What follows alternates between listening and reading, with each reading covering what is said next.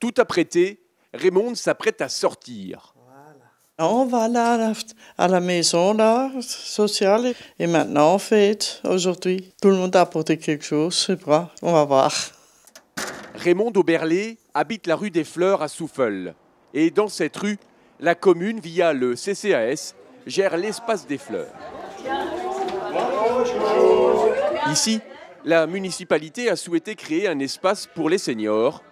Lancé en 2016, l'idée a fait son chemin et finalement trouvé son public. Ça change. Ça change. Et vous voyez les personnes comment elles sont. Tout le monde est au top. Hein On s'est mis sur nos 31. Sur leur 31, pour fêter une année réussie.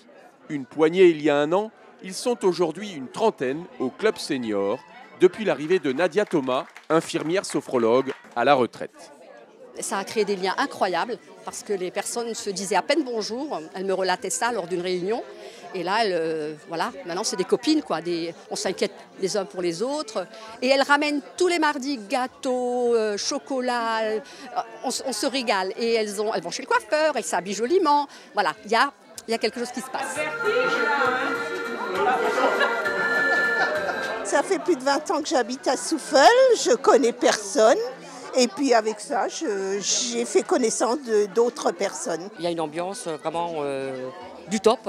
Il y a beaucoup de gens, des anciens et tout, que, que je rencontre ici, mais c'est bien, ça, passe, ça, passe le temps. C'est la convivialité que je recherche.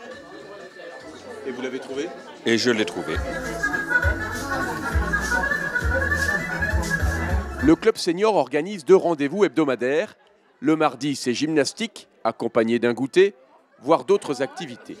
Mardi, c'est vraiment gym avec ballon, avec cerceau, ça, ça déconne à fond, il euh, n'y a rien de sérieux. On passe un bon moment, c'est convivial. Le jeudi, c'est sophrologie. On fait des exercices de relaxation dynamique et puis ensuite on termine par une séance de sophronisation où là on ferme les yeux, on met de la musique et c'est de la relaxation on peut dire. Ça fait travailler tous les muscles et c'est en même temps relaxant. Le club senior organise aussi une excursion par trimestre. Cet automne, les seniors retourneront certainement en forêt noire. Cet été, les mardis et jeudis, ça continue pour le plus grand bonheur de nos seniors.